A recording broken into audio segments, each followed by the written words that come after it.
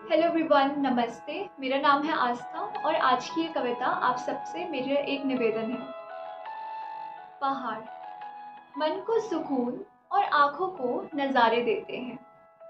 रूह को तसल्ली और दिल को अपना बना लेते हैं। मन को जागृत कर देते हैं, आनंद से, उल्लास से भर देते हैं। पहाड़ है ये, सबको ये अपना बना लेते हैं। कितना सुंदर, मनमोहक लगता होगा ना, जब पहाड़ों में घूमने जाते हैं। फ़ोटोज़ क्लिक करते हैं और पिकनिक मनाते हैं। फिर क्यों उसी को दूषित कराते हैं? फिर क्यों उसी को दूषित कराते हैं? स्वच्छ स्थान को प्रदूषित कराते हैं। Anxiety depression loneliness aggression mountain accept you as you are फिर क्यों अपनी रिस्पॉन्सिबिलिटी से तुम वाकिफ नहीं हो पाते? स्वच्छ हवा का स्रोत है वो। लाइफ रेगुलेटर लाइफ सेवियर है वो। बाहें फैलाकर पहाड़ सबका स्वागत करते हैं। और बदले में wrappers cans and other waste से लोग उन्हें झटकते हैं। आक्रोश मन में लिए वो फिर भी तुम्हें नाराज़गी दिखाते नहीं।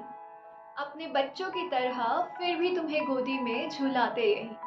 नदियों का भी पानी दूषित हो रहा है और लोगों का कहना है कि उनका पाप धुल रहा है। पहाड़ों से भी पलायन हो रहा है। नदियाँ कम थी क्या कि अब व्यक्ति पहाड़ों में भी अपने पाप की गंध छोड़ रहा है? मंदिर तुम्हारा सजा हुआ है, देवी देवताओं का हर मंत्र रटा हुआ है।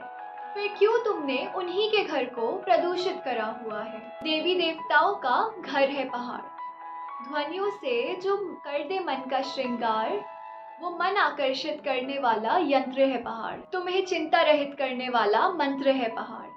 पहाड़ ही तुम्हारे सच्चे मित्र हैं, यही तुम्हारे अपने हैं। तो क्यों रखे तुमने अपनों से ही गिले शिकवे हैं? सबसे मेरा ये निवेदन है कि पहाड़ ही आपका असली धन है। तो लक्ष्मी को अपनी तुम नाराज़ मत करना। कूड़ा और कचरा तुम पहाड़ में ना फेंकना।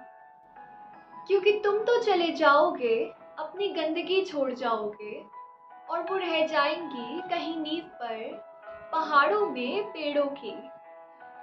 बढ़ जाएँगी तकलीफें नेचर की। फिर तुम्हारी ये गुस्ताखी माफ़ नहीं की जाएगी अगली बार जब नेचर की बारी आएगी। शुक्रिया।